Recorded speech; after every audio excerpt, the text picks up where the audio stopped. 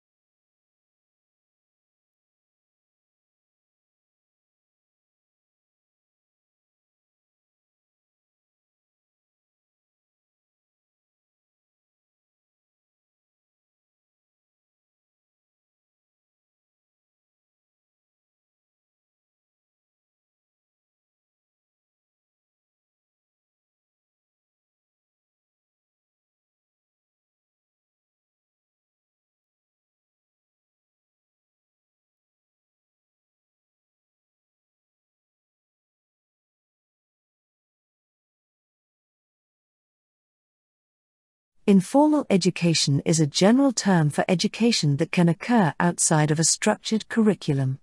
Informal education encompasses student interests within a curriculum in a regular classroom, but is not limited to that setting. It works through conversation and the exploration and enlargement of experience.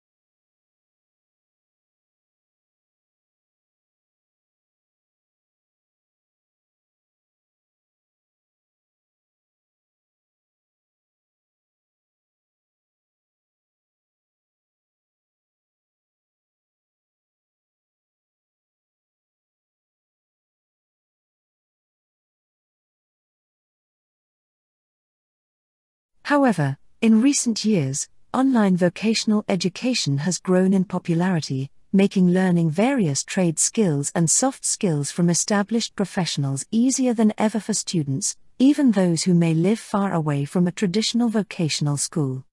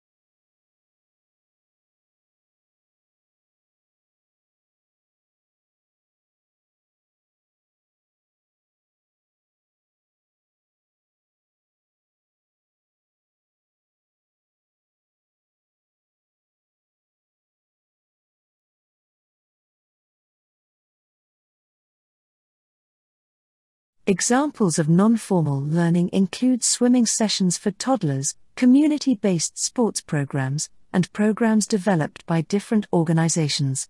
The learner's objectives may be to increase skills and knowledge, as well as to experience the emotional rewards associated with increased love for a subject or increased passion for learning.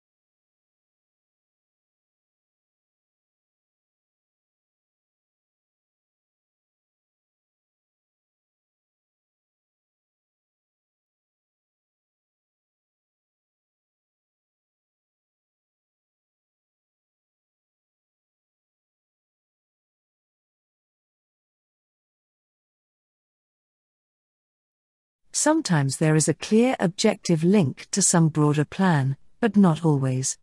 The goal is to provide learners with the tools they need to eventually reach more complex material. It can refer to various forms of alternative education, such as unschooling or homeschooling and youth work.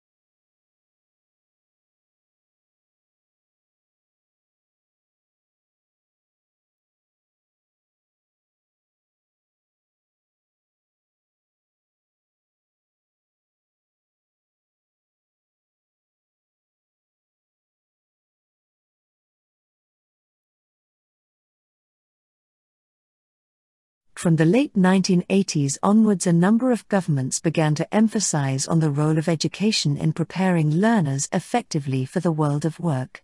This school of thought, termed New Vocationalism, placed the skills needs of industry at the center of discussions on the purpose of public education.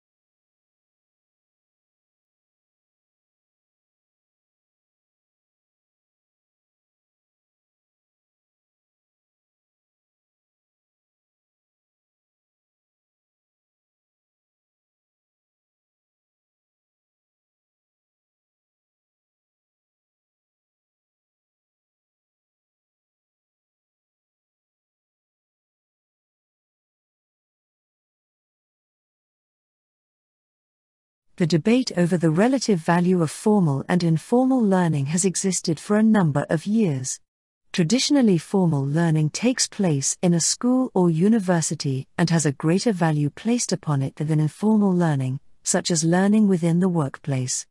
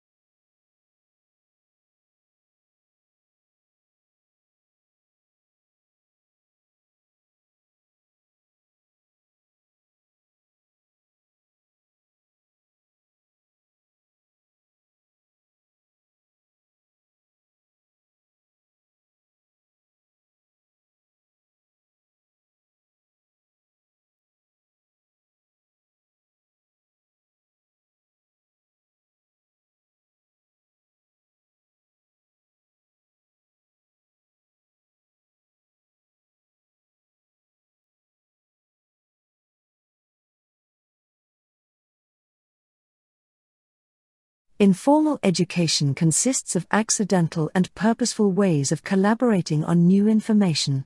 It can be discussion based and focuses on bridging the gaps between traditional classroom settings and life outside of the classroom.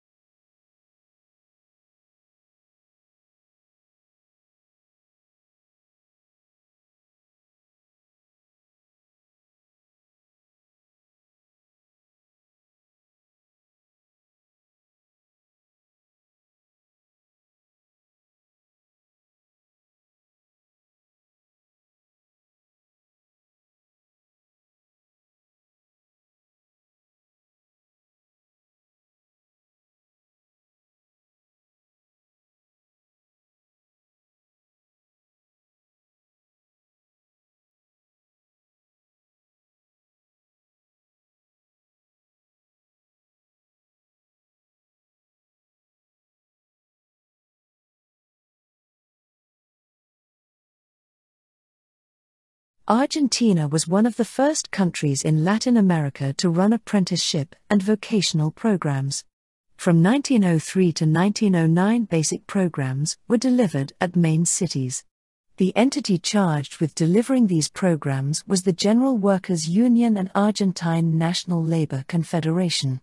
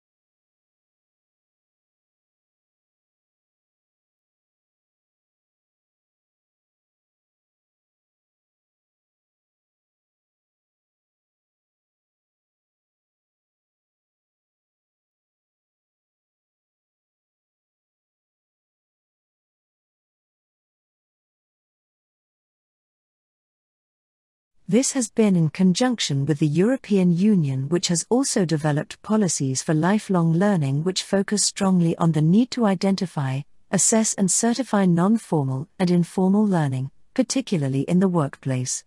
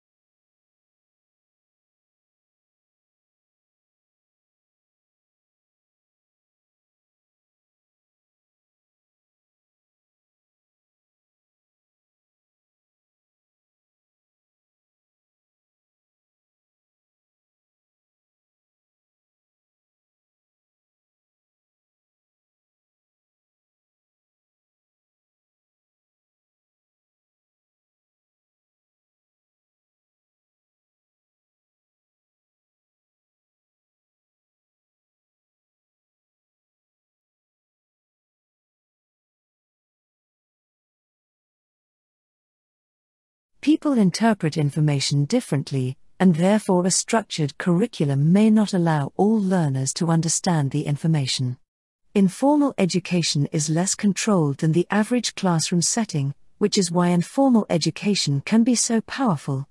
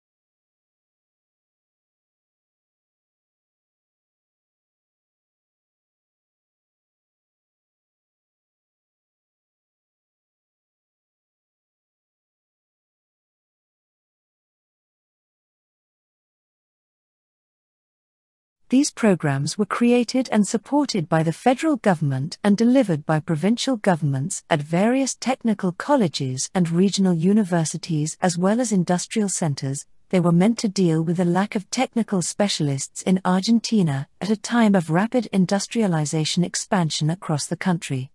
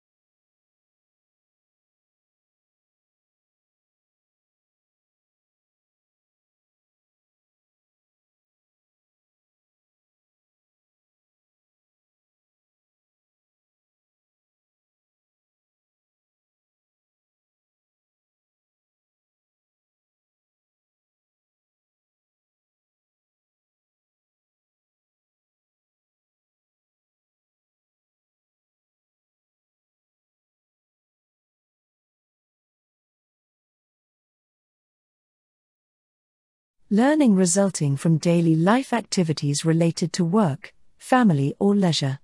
It is not structured in terms of learning objectives, learning time, or learning support and typically does not lead to certification. Informal learning may be intentional, but, in most cases, it is not intentional.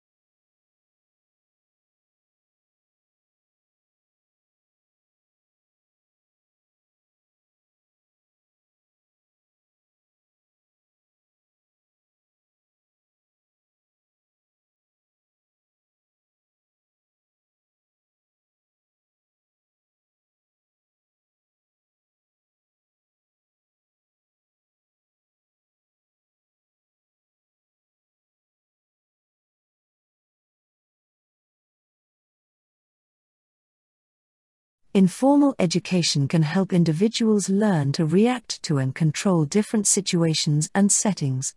In addition, it combines social entities that are important for learning. Informal education may be viewed as the learning that comes as a part of being involved in youth and community organizations.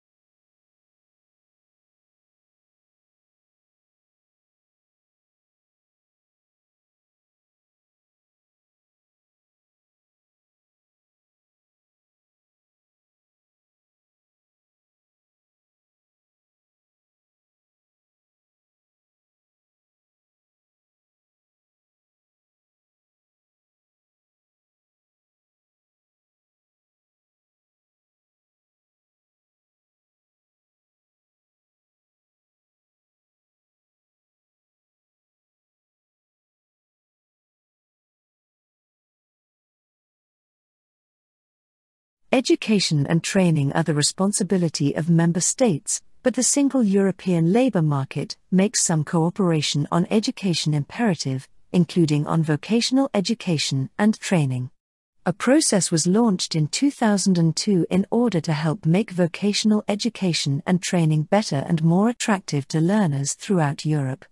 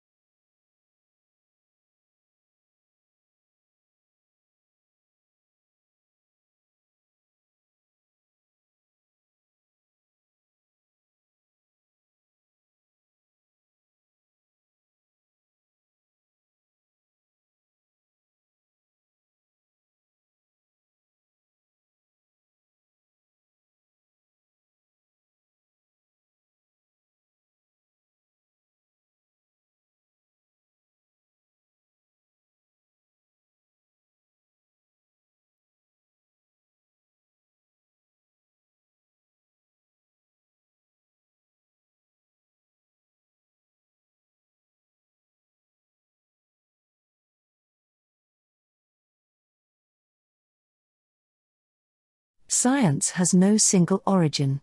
Rather, scientific methods emerged gradually over the course of thousands of years, taking different forms around the world, and few details are known about the very earliest developments. Some of the earliest evidence for scientific reasoning is tens of thousands of years old.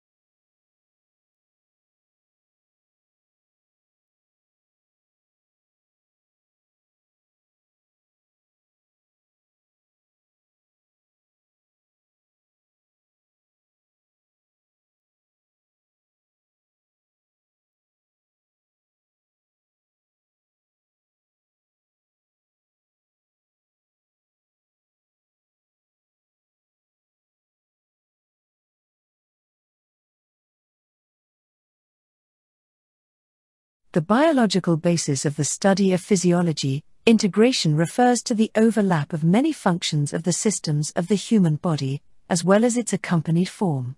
It is achieved through communication that occurs in a variety of ways, both electrical and chemical.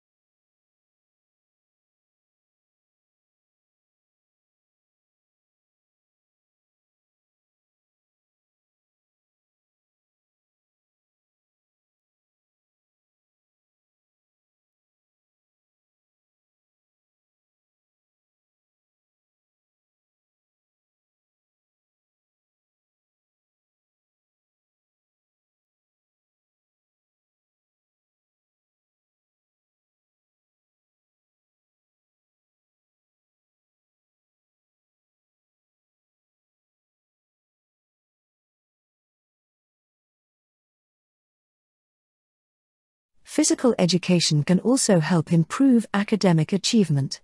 Researchers in 2007 found a profound gain in English Arts standardized test scores among students who had 56 hours of physical education in a year, compared to those who had 28 hours of physical education a year.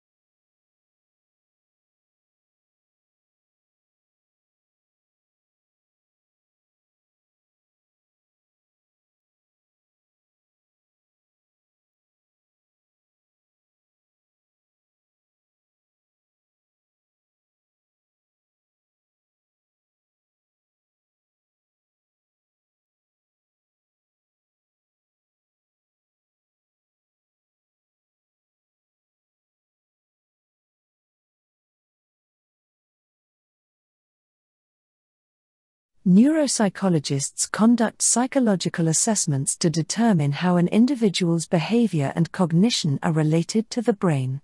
The biopsychosocial model is a cross disciplinary, holistic model that concerns the ways in which interrelationships of biological, psychological, and socio environmental factors affect health and behavior.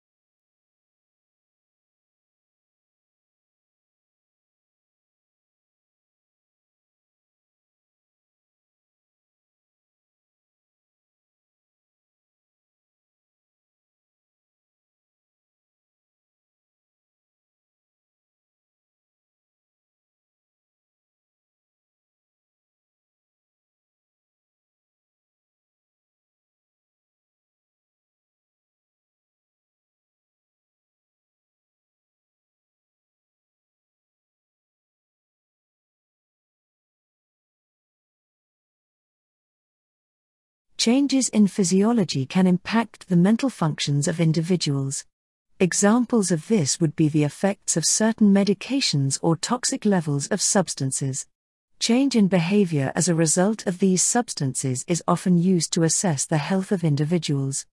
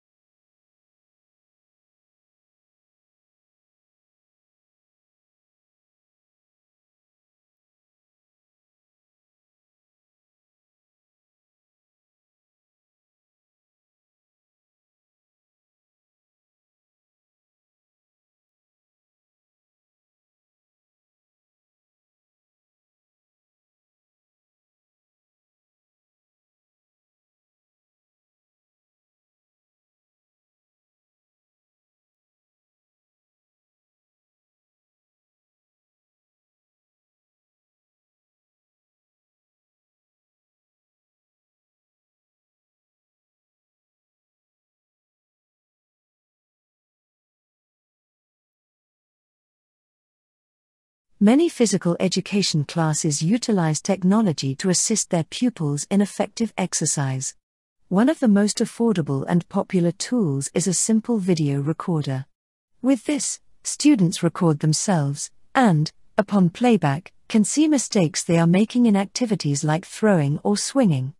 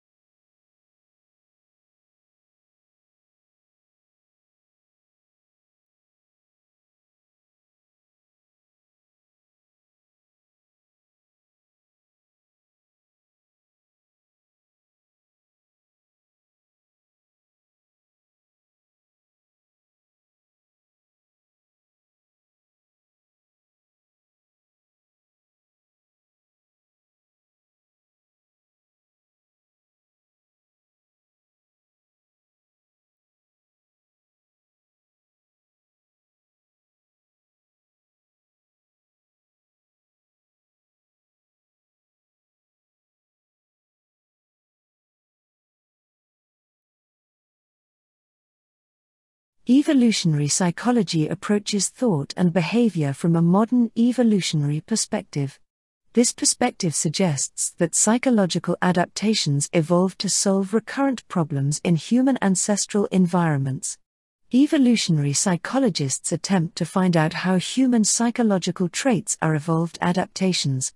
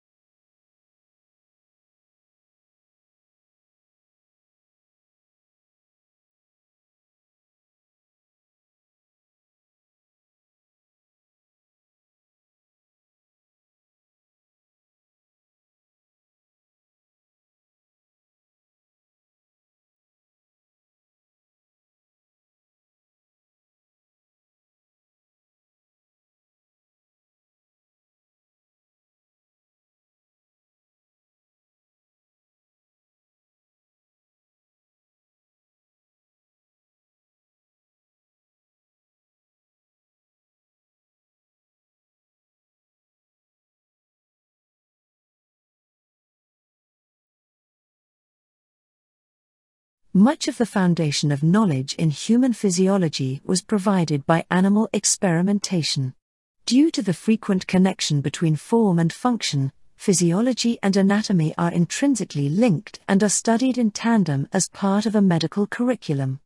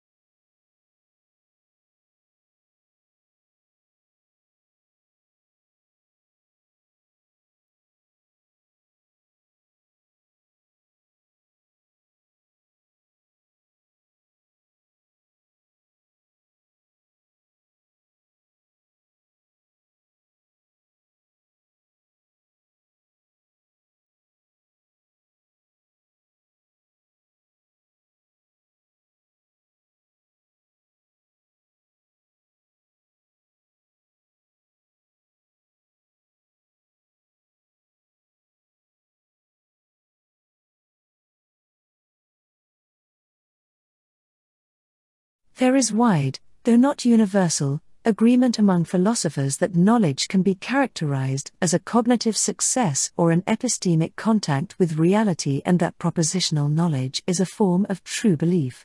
Most definitions of knowledge in analytic philosophy aim to determine the essential features of propositional knowledge, which is also referred to as knowledge.